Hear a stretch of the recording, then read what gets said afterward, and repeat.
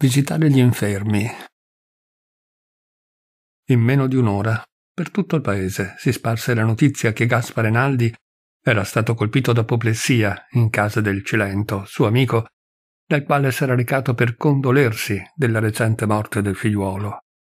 Tutti in prima, più che afflizione, ne provarono sbigottimento, e ciascuno con ansia domandò più precisi ragguagli. Ma la prima costernazione fu presto ovviata dalla riflessione confortante che il Naldi, quantunque di florido aspetto e ancor giovane, era pur dentro minato da incurabile malattia cardiaca. Sicché, via, poteva aspettarsi da un momento all'altro, poverino, una fine così. I primi visitatori, amici e conoscenti, accorsero alla casa del Cilento ansanti, pallidi, con occhi da spiritati. Non è ancor morto. Volevano vederlo. Porta, usci, finestre, tutto spalancato.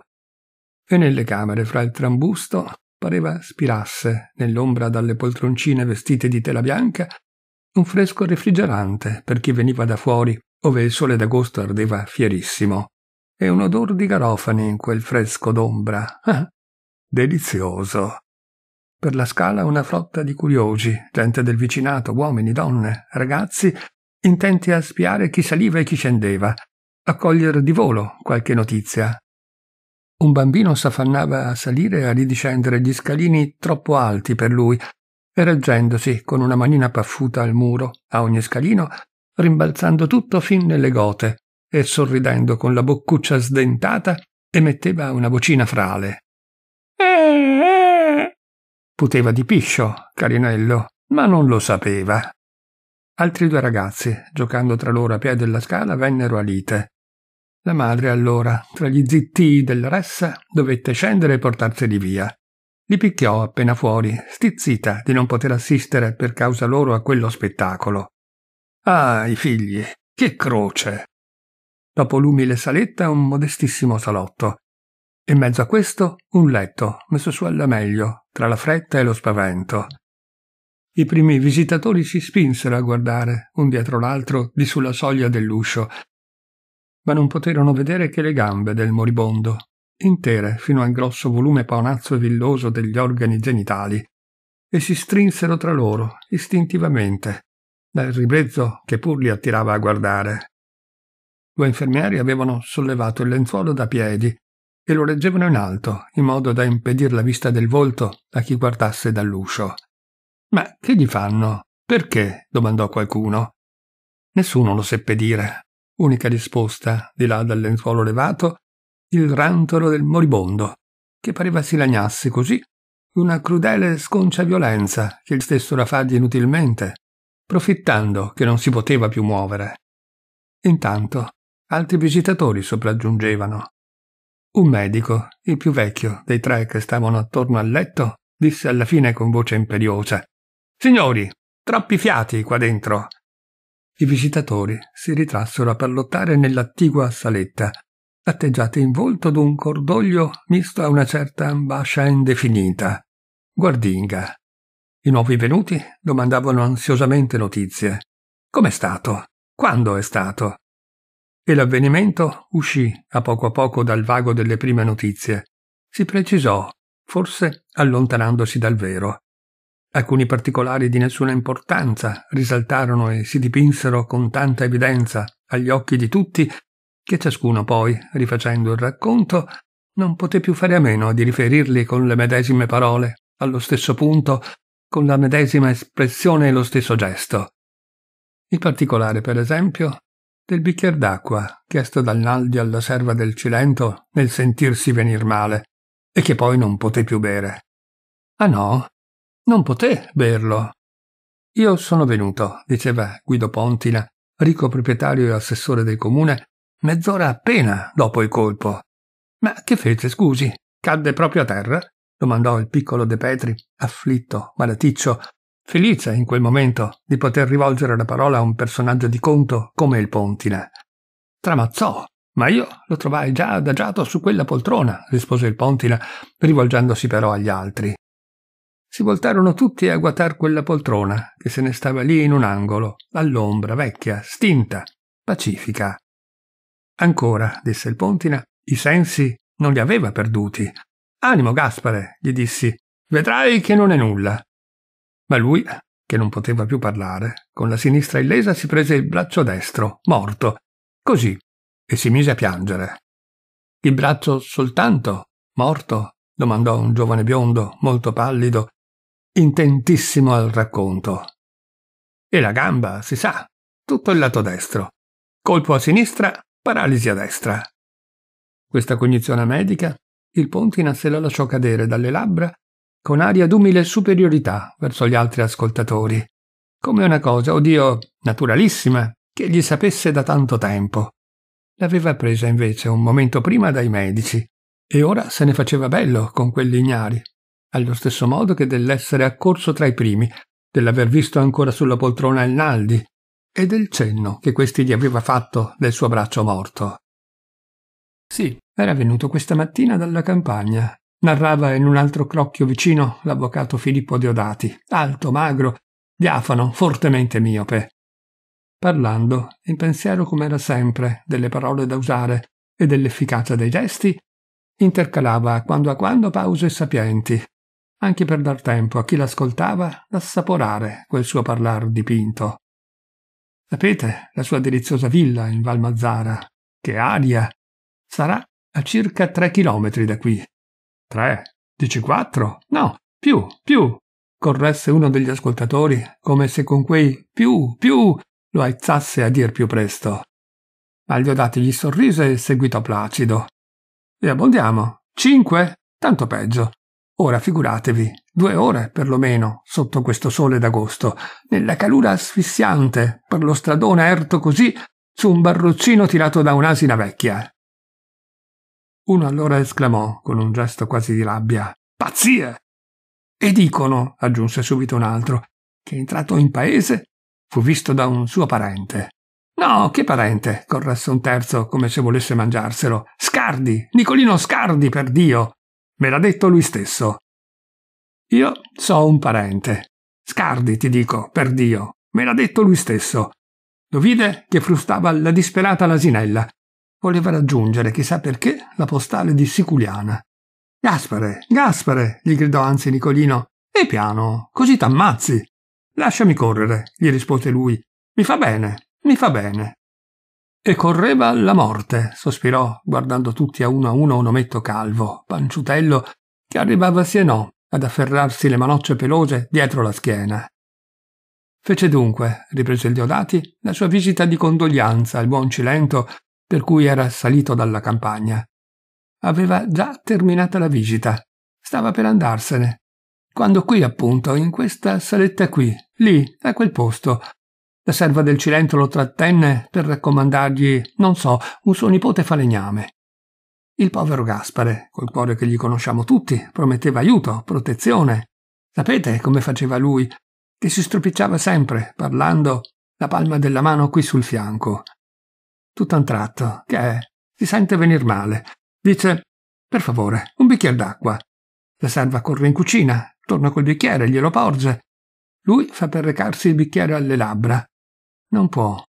La mano, invece di andare in su, gli va in giù, così, così, tremando e versando l'acqua. Il bicchiere gli cade di mano. I ginocchi gli si piegano e stramazza. Oh, guardate, suggerì piano l'ometto calvo, accostandosi con un dito della manoccia teso. Lì, guardate, i cocci del bicchiere, lì. Tutti si voltarono a guatar costernati quei cocci nell'angolo, come dianzi quegli altri la poltrona. Ma giunse in quella, dalla stanza del moribondo, un puzzo intollerabile che fece arricciare il naso a tutti. Buon segno, esclamò qualcuno, avviandosi per recarsi in un'altra stanza. Si scarica. Parecchi confermarono. Buon segno sì, buon segno. E tutti, turandosi il naso, seguirono il primo. Stavano in quell'altra camera i parenti del moribondo. Il fratello Carlo, un nipote, un cognato e lo zio canonico, insieme con altri visitatori, tutti in silenzio. Si rispondeva ai saluti, fatti a bassa voce, o con gli occhi o con un lieve cenno della mano o del capo. Carlo Naldi, come se sopraggiunti fossero venuti a dirgli Tuo fratello è guarito, cammina Scattò in piedi per recarsi dal moribondo. Alcuni si provarono a trattenerlo. No, lasciatemi, voglio vederlo. E andò, seguito dal figlio. Anch'essi entrando si turbarono al puzzo pestifero, ma si trattennero presso il letto e sorvegliarono gli infermieri, perché il letto e il giacente fossero ripuliti a dovere. Poi fecero dare una spruzzata d'aceto alla camera. Gaspare Naldi, di corporatura potente, sorretto il busto da una pila di guanciali, con una vescica di ghiaccio in capo. Il volto paonazzo aveva schiuso gli occhi insanguinati e guardava un po' accigliato, quasi per uno sforzo di riconoscere colui che s'era chinato sul letto a spiarlo negli occhi. Gaspare! Gaspare! chiamò il fratello con la speranza nella voce che il colpito l'udisse.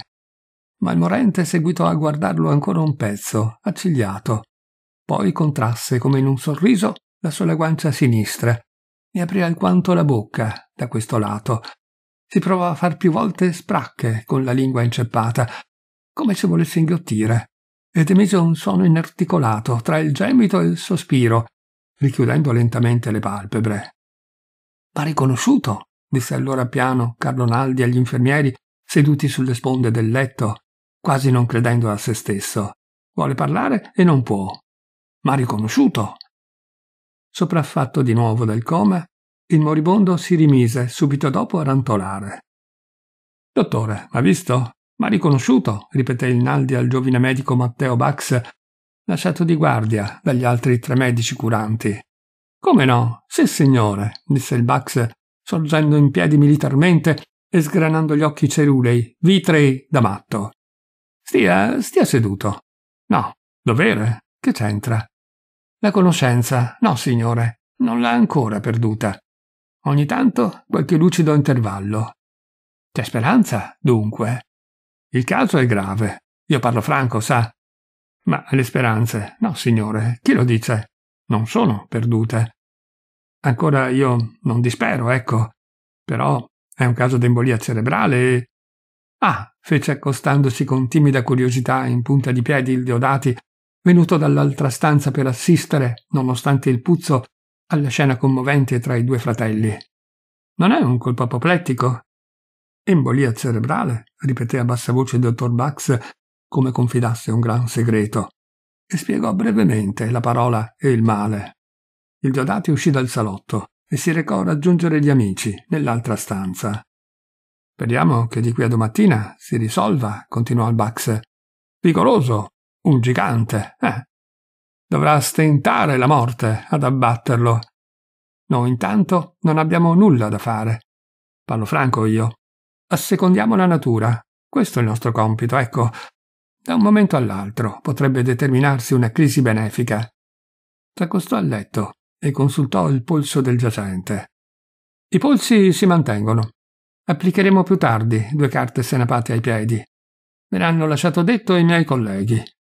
Non mi prendo nessuna libertà, io. Il Vax era all'inizio della carriera e però costretto a codiare un po' l'uno un po' l'altro dei medici più accontati. Tutti si intende asini per lui.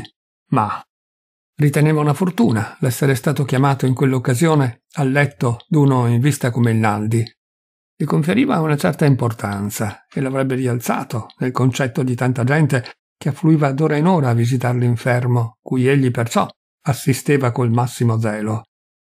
Nel vederlo così faccente attorno al letto, nessuno, egli credeva, avrebbe sospettato che gli altri medici curanti lo avessero chiamato unicamente perché lo sapevano resistentissimo al sonno.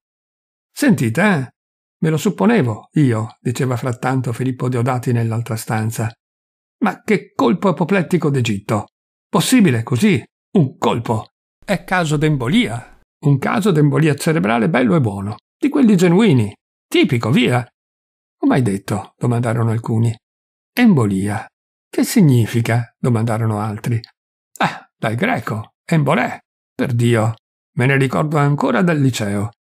Quando la circolazione del sangue non si svolge più regolarmente, perché il cuore, capite, è indebolito, che avviene?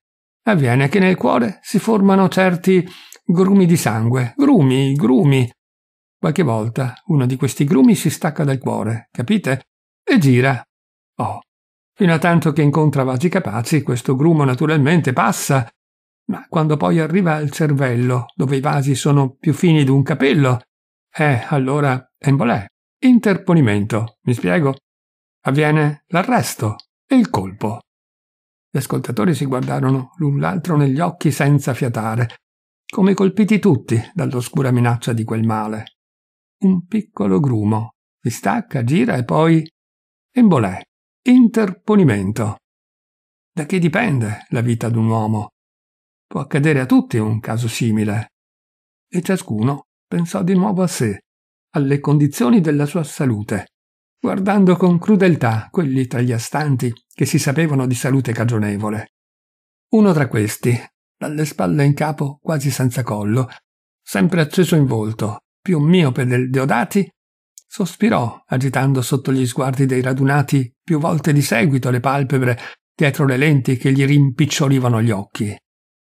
Intanto, seguitò il Diodati, se l'arresto non si risolve prima di 24 ore, la parte cerebrale non nutrita degenera, capite? E avviene il rammollimento. Povero Gaspare, esclamò con angoscia intensa, esasperata, l'uomo miope senza collo. E l'ometto calvo, panciutello, osservò, facendo rincorrere i pollici delle manocce pelose che lì sul ventre poteva facilmente intrecciarsele. Che processo crudele di causa ed effetti. Il bimbo morto del Cilento si chiama dietro un uomo, qua, padre di sei altri bambini. L'osservazione piacque e tutti i presenti scossero malinconicamente il capo. Sei? Dica sette, corresse uno. La povera moglie è incinta di nuovo. Poi si guardò attorno e domandò Non si potrebbe avere un bicchiere d'acqua? Che sete? Pensare, sospirò Guido Pontina, che a quest'ora sarebbe laggiù in campagna, tra la sua famiglia, in mezzo ai suoi contadini, come tutti gli altri giorni. Maledetto il momento che gli venne in mente di salire in paese quest'oggi. Perché, sentite, è vero purtroppo, e non si nega che era continuamente sotto la minaccia di. Di questo grumo che dice Deodati, ma probabilmente, probabilissimamente, senza la causa determinante di queste due ore di sole tra le scosse e gli sbalzi del baroccino. Eh, ma se voi del municipio, lo interruppe il Diodati a questo punto, non ci volete pensare a riparar lo stradone. Come no? rispose vivamente il Pontina. Ci sei pensato? Sì, avete fatto scaricare i mucchi del brezzale per dar modo ai ragazzi di fare alle sassate. Chi li stende? Debbono stendersi da sé? Basta. Certamente interloquì per metter pace l'ometto calvo. Il povero Naldi avrebbe voluto vivere due, tre, cinque, magari dieci anni ancora. Si sa, certo, è così, approvarono a bassa voce alcuni. Contraddizioni inesplicabili, esclamò Diodati. Ma già, è inutile. La fatalità. C'è un bel guardarsi di tutto e aver cura timorosa e meticolosa della propria salute. Arriva il giorno destinato e addio. L'uomo miope, senza collo, a questa osservazione si alzò, sbuffò forte, approvando col capo. Non ne poteva più e andò ad affacciarsi al balcone. Gli pareva che tutti, parlando del Naldi, leggessero la condanna a lui. Eppure non se ne andava, restava lì come se qualcuno ve lo costringesse. Altri del crocchio s'opposero all'osservazione del Diodati, e allora venne fuori, intercalata da aneddoti personali, la vita del Naldi in quegli ultimi anni, e che egli, cioè, guarito miracolosamente d'una polmonite, s'era ritirato in campagna con la famiglia, per consiglio dei medici, i quali gli avevano assolutamente proibito d'attendere agli affari. Per qualche tempo il Naldi, sì, aveva seguito la prescrizione, vivendo come un patriarca in mezzo alla numerosa famiglia e ai contadini, curando scrupolosamente la salute. S'era finanche provvisto d'una piccola farmacia ed una bibliotechina medica, con l'aiuto delle quali s'era dilettato di tanto in tanto, a un bisogno, a far da medico alla moglie, ai figliuoli, ai contadini e ai suoi dipendenti, là a Valmazzara. Che aria! E la villa, l'avete veduta con quel magnifico pergolato? Era il suo orgoglio, quel pergolato. Dovette pagarla cara quella terra, no? Ma no, che cara, gliela vendette il Lopez, affogato, prima di fallire. È che lui poi ci ha speso tanto. Gran lavoratore. In quest'ultimo anno, difatti, contento della recuperata salute, aveva ripreso a lavorare, a cavalcare per mezze giornate per recarsi alle zolfare di sua proprietà, e a chi lo richiamava ai consigli dei medici mostrava sotto la camicia una pelle di coniglio sul petto. E ne tengo un'altra dietro, a guardia delle spalle, diceva. Appena sudo, mi cambio. Uè, sei figliuoli ho. Non posso mica star dentro uno scaffale. Con quella pelle di coniglio addosso si sentiva ormai invulnerabile, come se si fosse munito d'una corazza contro la morte. E questa superstiziosa fiducia lo rendeva imprudente e quasi felice. E intanto, in un attimo, concluse l'ometto calvo, chissà quanti contadini avrà lasciato detto stamane, prima di partire, per far questo o quest'altro, aspettate il mio ritorno. Il Pontin approvò col capo, soddisfatto che si fosse tratta tanta materia di discorso da un'idea manifestata prima da lui. Due o tre consultarono l'orologio. Era l'ora della cena per i più, ma nessuno avrebbe voluto andar via. La catastrofe poteva essere imminente. Entrò nella stanza un momento il dottor Bax e tutti si voltarono a guardarlo.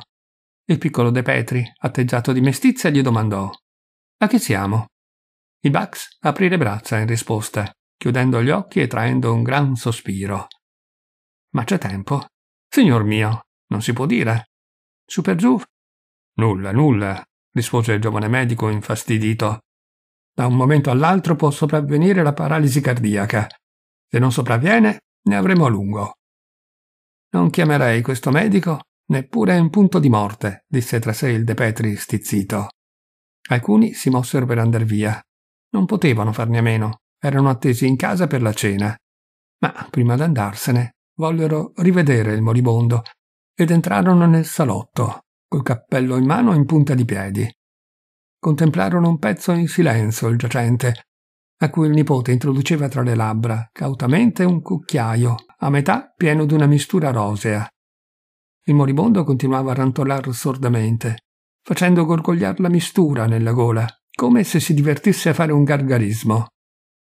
Ritornarono poco dopo, per la visita serale, i tre medici curanti. A uno a uno, appena arrivati, consultarono a lungo i polsi del colpito, prima il destro, poi il sinistro, tra il silenzio sgomento degli astanti, che spiavano ogni loro movimento, come in attesa d'un responso fatale, inappellabile. Il dottor Bax riferiva in breve a bassa voce ai tre colleghi che dimostravano di non prestargli ascolto lo stato dell'infermo durante la loro assenza. Zitto, collega, va bene, disse seccato il più vecchio dei tre e tirò giù il lenzuolo per osservare il petto e il ventre del moribondo, agitati continuamente per lo stento della respirazione da conati quasi serpentini. Quella visita angosciò così gli astanti che molti distrassero lo sguardo da quel ventre illuminato da una candela sorretta da un infermiere.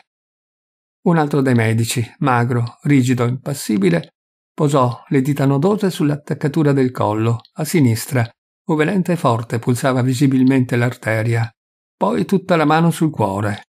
Il terzo si mise a solleticar con un dito la pianta del piede destro, paralitico, per accertarsi se non vi permanesse ancora un ultimo resto di sensibilità. Il medico magro, rigido, disse a uno degli infermieri Avvicinate la candela e con due dita sollevò la palpebra dell'occhio destro già spento.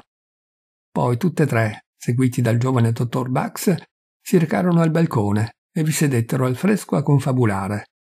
Dopo alcuni minuti uno d'essi si alzò e accostandosi alla mensola trasse dall'astuccio una siringhetta, la pulì, la provò due volte facendone sprillare un po' d'acqua. Poi la riempì di caffeina e s'appressò al letto. La candela! Dottore, dottore, perché prolungar così lo strazio di questa agonia? gemette affannosamente lo zio canonico, impallidito alla vista dello strumento. È nostro dovere, reverendo, rispose asciutto asciutto il medico, coprendo la gamba del giacente. Lasciamo fare a Dio, insisté con voce piagnucolosa il canonico. Il medico, senza dargli retta, cacciò l'ago nella gamba insensibile, e l'altro chiuse gli occhi per non vedere.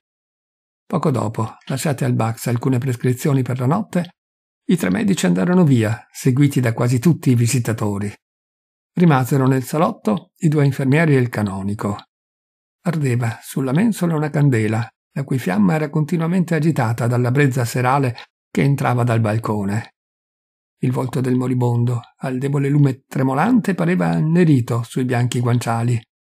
I peli dei baffi rossicci sembravano appiccicati sul labbro, come quelli d'una maschera. Sotto i baffi, dalla bocca aperta, un po' storta a destra, il rantolo usciva angoscioso e sotto il lenzuolo era palese l'orrenda fatica del ventre e del petto per la respirazione. I due infermieri sedevano in ombra, silenziosi, alla sponda del letto. Uno suzzava con un bioccolo di bambagia dalle gote del giacente l'acqua che sgocciolava dalla vescica di ghiaccio. L'altro reggeva sulle ginocchia un cuscino, sul quale il moribondo allungava per ritirarla subito dopo irrequietamente la gamba illesa. Su un quadricello presso la mensola sorgeva un uccellaccio imbalsamato, dal collo e dalle zampe esili e lunghissime, il quale pareva guardasse spaventato, con occhi di vetro, gli attori muti di quella lugubre scena. A piede del letto, il canonico, curvo, le braccia appoggiate sulle gambe, le mani intrecciate, pregava con gli occhi chiusi, e sotto le palpebre a tratti si vedeva quasi fervere la muta preghiera. Il trapunto della leggera cortina del balcone si disegnava lieve sulla blanda e chiara soffusione del chiarore lunare, alito di deliziosa frescura.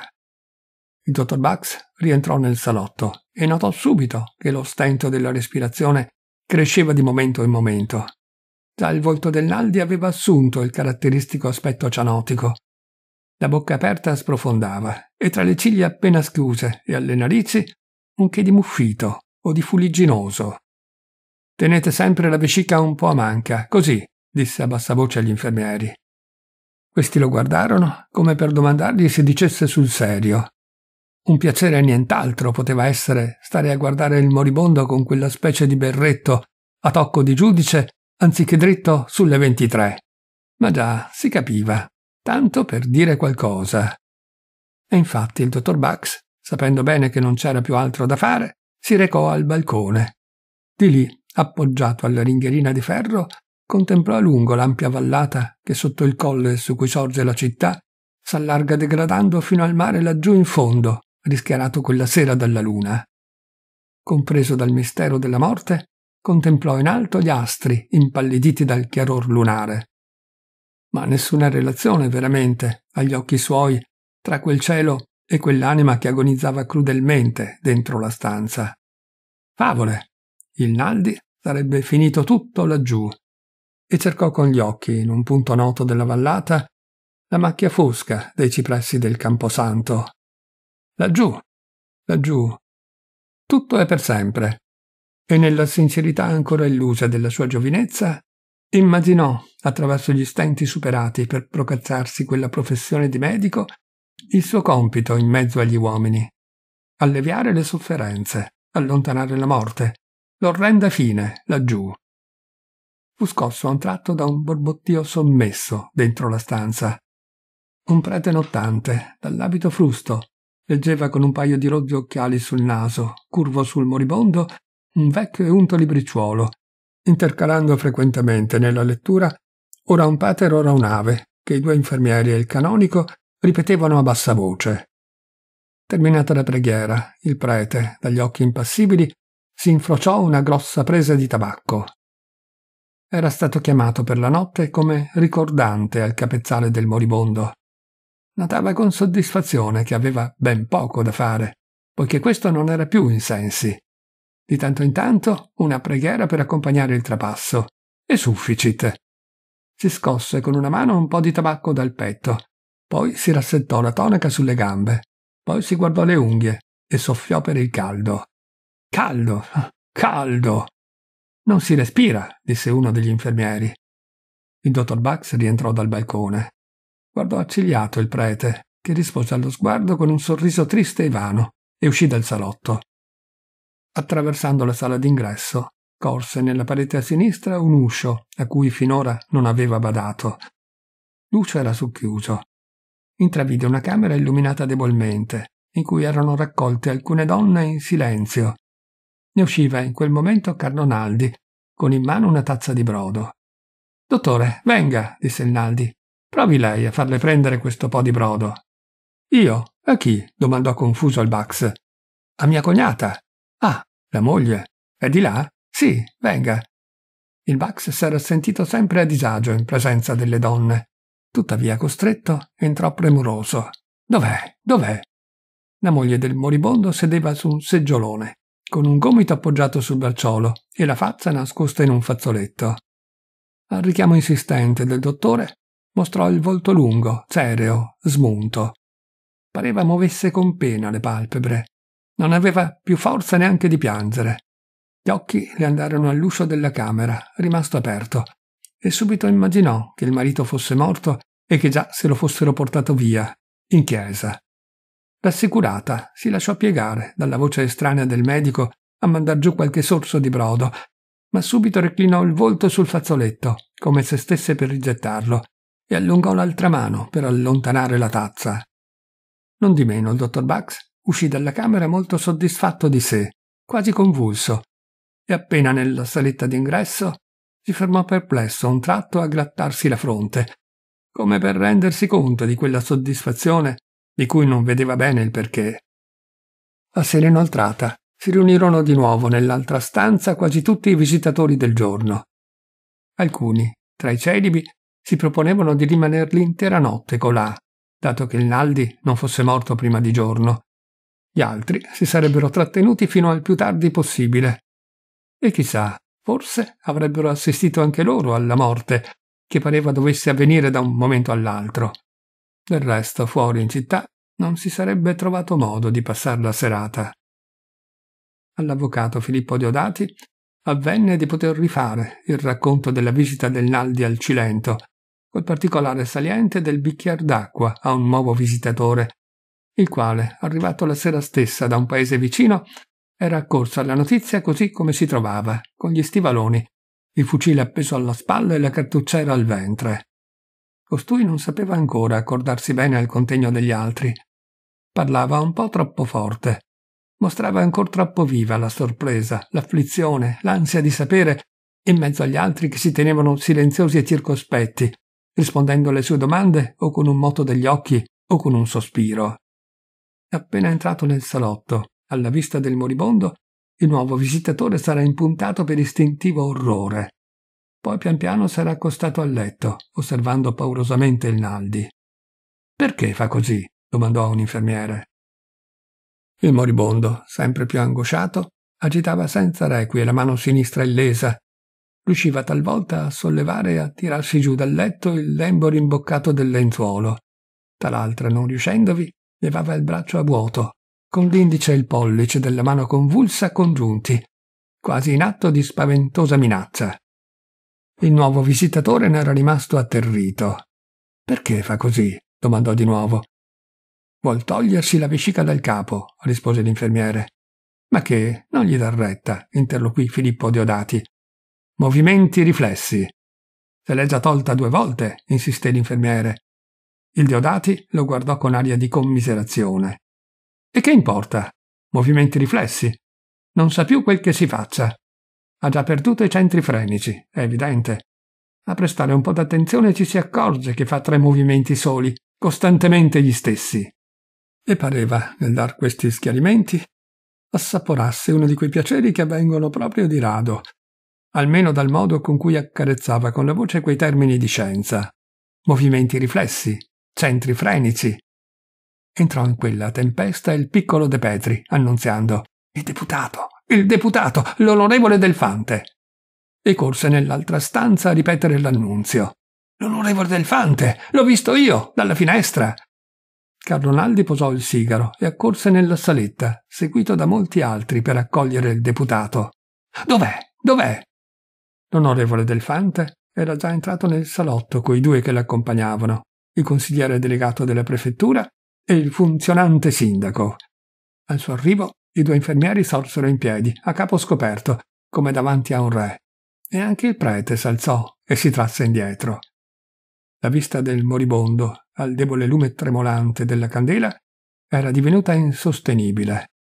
Quel corpo gigantesco, a cui la morte teneva adunghiato il cervello, si contorceva orribilmente nella lotta incosciente, tremenda, delle ultime forze. E respirava ancora. Non di meno l'onorevole Delfante, con le ciglia aggrottate, le mani dietro la schiena, sostenne a lungo lo strazio di quello spettacolo. Strinse forte la mano a Carlo Naldi, senza dir nulla, e si volse di nuovo a contemplare il giacente che era stato suo amico d'infanzia e compagno di scuola. Tra le mille seccature, le ansie, le smanie dell'ambizione, ecco l'immagine di un'improvvisa morte. E scosse amaramente il capo, con gli angoli della bocca contratti in giù. Che siamo? mormorò, e uscì a capo chino dalla camera del moribondo per recarsi nell'altra stanza, seguito da quasi tutti i presenti a quella scena. Erano tutti inorgogliti di quella degnazione dell'onorevole deputato e beati della fortuna d'averlo lì con loro. Gli fu portato da sedere nel balcone, al fresco, e molti gli si strinsero attorno in silenzio. Quindi, prima uno poi un altro, gli rivolsero qualche domanda a bassa voce, alla quale egli non seppe tenersi dal rispondere. Poco dopo la conversazione navigava per l'agitato mare della politica, dietro la sconquassata nave ministeriale, di cui il Delfante era fedele pompilo seguace, non per convinzione, ma per misero tornaconto. Il fratello del moribondo si teneva discosto, seduto su una poltroncina. Gli faceva male un dente e fumava per stordire il dolore. Alcuni, vedendolo fumare, pensarono d'accendere il sigaro anche loro. Soltanto il piccolo De Petri era in gran pensiero. Si doveva, sì e no, ordinare la cassa da morto. Nessuno ci pensava, e intanto dove diavolo s'era cacciato quello sciocco presuntuoso del dottor Bax? E gli abiti per l'ultima vestizione. Al povero Naldi toccava anche di morire fuori della propria casa. Bisognava mandar qualcuno a cercare questi abiti. E un altro pensiero ancora, gli annunzi funebri, a stampa. Se non ci si pensa prima a queste cose, diceva piano a tutti il piccolo De Petri s'era portato con sé il registro degli elettori del comune e sul tavolinetto, insieme col giovine biondo molto pallido, passava in rassegna e segnava col lapis il nome di coloro a cui si doveva inviare la partecipazione di morte del Naldi. In quella ternita la sua lingua maledica trovò quasi la pietra da affilarsi e di tanto in tanto a qualche nome diceva no, a questo cornuto no, e a qualcun altro no, a questo ladro neppure. L'onorevole Delfante sciolse finalmente la seduta, rientrò nella stanza e strinse di nuovo la mano a Carlo Naldi. Coraggio, fratello mio. Prima d'andarsene volle rivedere il moribondo e al dottor Bax che gli stava accanto domandò Se domani tornassi, lo troverei? Agonia lunga, rispose il Bax, ma fino a domani forse no. Speriamo, sospirò l'onorevole Delfante. Ormai la morte è cessazione di pena. E andò via, tirandosi dietro gran parte dei visitatori. Dopo la mezzanotte erano soltanto in sei, oltre i parenti, il prete e il dottor Bax. I parenti s'erano riuniti nell'altra stanza, attorno alla moglie del moribondo. Nella stanza di questo, i due infermieri accanto al letto dormicchiavano e il prete, per non imitarli, infornava tabacco aveva posato sul guanciale, al lato alla testa del giacente, un piccolo crocifisso, sicuro che questo, al morente, per la notte poteva bastare. Gli altri, nell'altra stanza, presso il balcone, comodamente sdraiati, conversavano fra loro fumando. Una disputa s'era accesa tra il Bax e l'avvocato Filippo Deodati, intorno ad alcuni strani fenomeni spiritici sperimentati in quei giorni da un cultore fanatico di questa nuova sollecitudine intellettuale, come l'avvocato Deodati lo definiva. Ciarlatanerie! esclamò ad un certo punto il Bax. Naturalissimo che tu dica così, rispose con un sorrisetto il Deodati. Anch'io, peraltro, son quasi della tua opinione. Tuttavia penso, chissà, è presunzione, certo, ritenere che l'uomo, con questi suoi cinque limitatissimi sensi, e la povera intelligenza che gliene risulta possa percepire e concepire tutta quanta la natura. Chissà quant'altre sue leggi, quant'altre sue forze e vie ci restano ignote.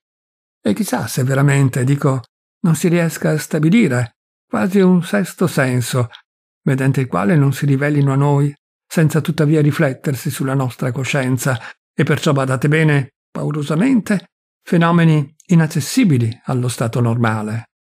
Già, fece il Bax, i tavolini giranti e parlanti. Sesto senso? Autosuggestione, caro mio. Eppure, sospirò il Diodati, che guardava ancora in giro gli amici per cogliere l'effetto delle sue prime parole. Eppure, ecco, io vorrei spiegarmi il perché di certe nostre paure. Sì, dico, la paura, per esempio, che ci fanno i morti. Andresti tu, poniamo, domani o quando che sarà, a dormir solo di notte accanto alla cassa mortuaria del nostro povero Naldi, dentro la cattedrale, dove fosse soltanto un lampadino acceso, pendente dall'altissima volta, tra le grandi ombre, oppresso dalla poderosa, solenne vacuità di quell'interno sacro. Oh Dio!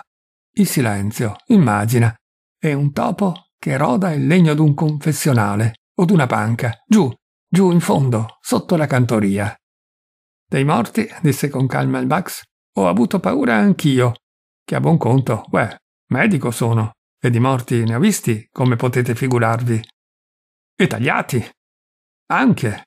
Veramente, allora ero studente. Tu sai che mi sono sempre levato all'ora dei galli. Basta. Matteo, mi avevano detto la sera avanti alcuni miei colleghi. Tu, che sei mattiniero, domani mattina, di buon'ora, vai ad accaparrarti con Bartolo alla sala anatomica un buon pezzo da studiare, testa e busto. Bartolo era il bidello della sala che tipo, se l'aveste conosciuto? Parlava coi cadaveri, nettava a perfezione i teschi e se li vendeva cinque lire l'uno. Cinque lire una testa d'uomo. È vero che molte vanno anche assai meno. Basta, state a sentire, che vi racconterò come un morto mi spense la candela. La candela? La candela, sì. Accettai l'incarico dei miei compagni e il giorno appresso, poco dopo le quattro, mi recai alla sala. Il cancello, davanti al giardino che circonda il basso edificio, era aperto, o meglio accostato, segno che i becchini avevano già portato il carico alla sala. Bartolo si vestiva nella stanzetta a sinistra dell'androne, la quale ha una finestra prospiciente il giardino. Io vidi entrando il lume attraverso le stecche della persiana. Contemporaneamente Bartolo udì lo scalpiccio dei miei passi sulla ghiaia del vialetto. Chi è là? Io, Bax. Ah, entri pure. Abbiamo di già? Abbiamo, sì signore. Ma la sala è al buio. Abbia pazienza un momentino. Son belle vestito. Fa pure con comodo. Ho con me la candela. Entrai. Non ero mai entrato solo a quell'ora nella sala. Paura no, ma vi assicuro che una certa inquietudine nervosa me la sentivo addosso attraversando quelle stanze in fila, silenziose, rintronanti, prima di giungere alla sala in fondo. Guardavo fiso la fiamma della mia candela, che riparavo con una mano per non veder l'ombra del mio corpo fuggente lungo le pareti e sul pavimento. I becchini avevano lasciato aperto l'uscio. Sei casse erano posate sulle lastre di marmo dei tavolini. I cadaveri giungevano a noi dalle chiese ancor vestiti, e tante volte anche coi fiori dentro. Un mio compagno, tra parentesi, non si faceva scrupolo di mettersi qualcuno di quei fiori all'occhiello o di comporne qualche mazzolino che poi regalava apposta alle belle donnine. Amore e morte, diceva lui. Basta. Reggevo con una mano la candela, con l'altra scoperchiavo cautamente le casse e guardavo dentro. Chi arriva prima si sceglie il meglio. Io cercavo un bel collo, un buon torace. Apro la prima cassa, un vecchio. Apro la seconda, una vecchia. Apro la terza, un vecchio, mannaggia. Faccio per sollevare il coperchio della quarta e... Un soffio che mi spegne la candela. Getto un grido, lascio il coperchio. La candela mi cade di mano. Bartolo, Bartolo! grido, atterrito nel buio. Bartolo accorre col lume e mi trova. Pensateci voi i capelli irti sulla fronte, gli occhi fuori del capo. Che è stato? Ah, Bartolo. Apri quella cassa. Bartolo apre, guarda dentro, poi guarda me. Ebbene, mi fa. Una bella ragazza. Prendo animo e guardo dietro le sue spalle. È morta. Bartolo si mette a ridere. No, viva. Non scherzare, ma ha spento la candela. Che ha fatto? Le ha spento la candela? Vuol dire che non voleva essere veduta da un giovanotto così codicata. Eh, poverina, di un po', è vero? E così dicendo agitò più volte una mano cerea del cadavere. Bisognava sentire le sue risate, perché prima le diceva e poi ci rideva sopra. Le sue risate, là, tra tutte quelle casse, mentre l'alba cominciava a stenebrare appena, scialba, umidizza l'ampia sala, a cui tutti i disinfettanti non riescono a togliere quell'orrendo tanfo di mucido. Ma quel soffio? domandarono tutti e tre a questo punto, costernati. Gas? rispose Bax con un gesto di noncuranza e rise allegramente. Uno degli infermieri, con gli occhi rossi dal sonno interrotto, venne cempennante ad annunziare che il moribondo era gelato dai piedi al petto e bagnato di sudor freddo. Ma respira ancora? Sì, signore, ma venga a vedere però. Pare strozzato. Credo che ci siamo. Il prete e l'altro infermiere, svegliati anch'essi di soprassalto, s'erano buttati in ginocchio e avevano subito attaccato, con la lingua ancora imbrogliata, alla litania. Entrò il Bax, con gli amici rimasti a vegliare. Alcuni si inginocchiarono. Il Deodati rimase in piedi col Bax, che s'accostò al moribondo, per toccargli la fronte, se era ancora gelata. Il piccolo De Petri restò nell'altra stanza, intento ancora a scegliere i nomi dal registro degli elettori. Sancta Dei Genitrix, ora pro nobis. Sancta Virgo Virginum, ora pro nobis. Tranne il prete, tutti tenevano gli occhi fissi al moribondo.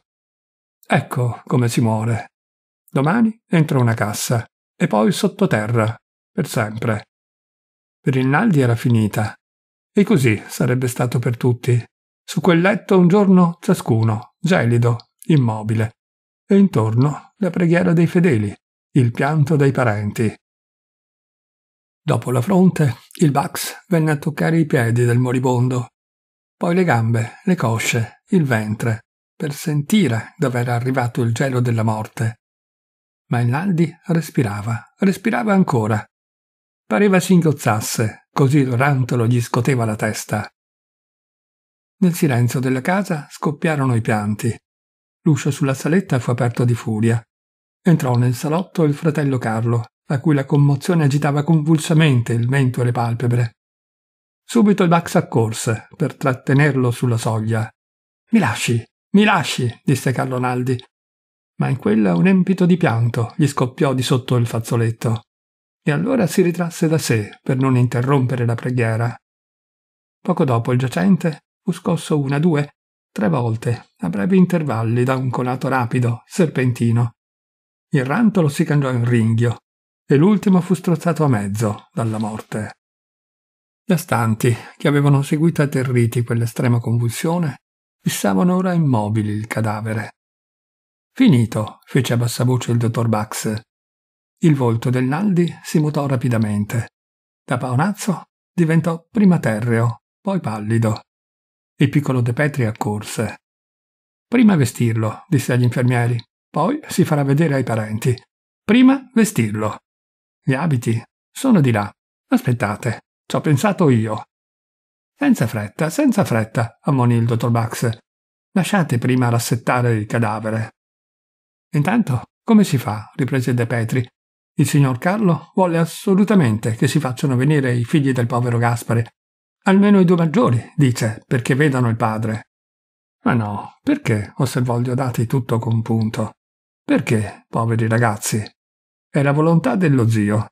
Io, per me, non lo farei. Ma insomma, chi va? Chi corre? Bisognerà svegliarli a quest'ora, poveri piccini. Non sanno nulla, seguitò afflittissimo Diodati. Condurli qua, a un simile spettacolo. Con che cuore? Io non capisco. M'opporrei. Vado io, sofferse uno degli infermieri.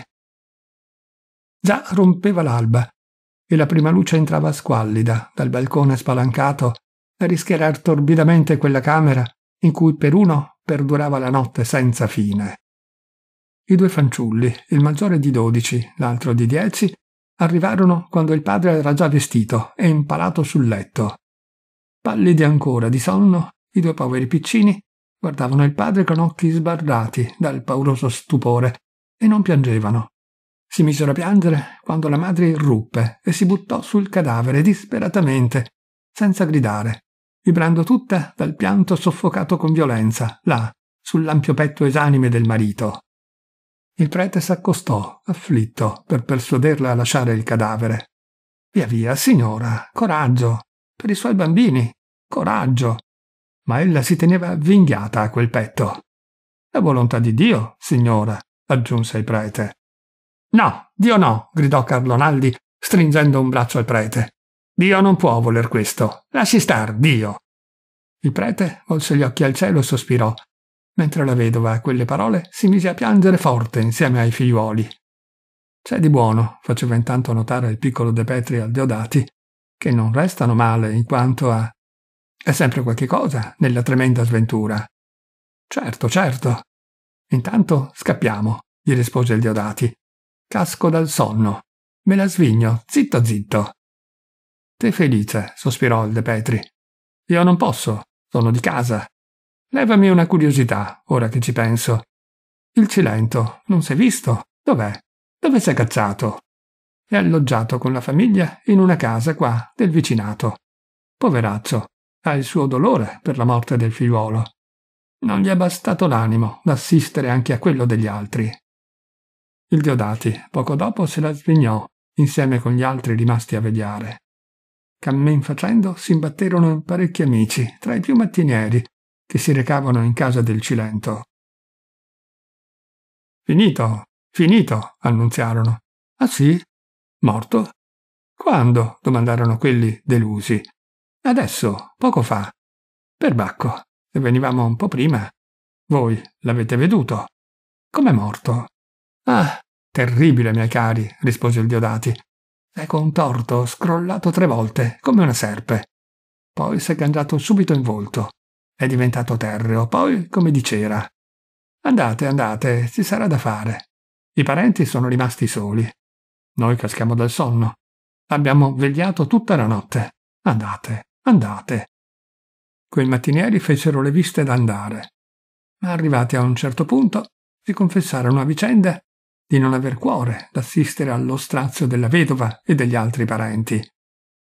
Qualcuno manifestò il timore di riuscire importuno, altri l'inutilità della loro presenza.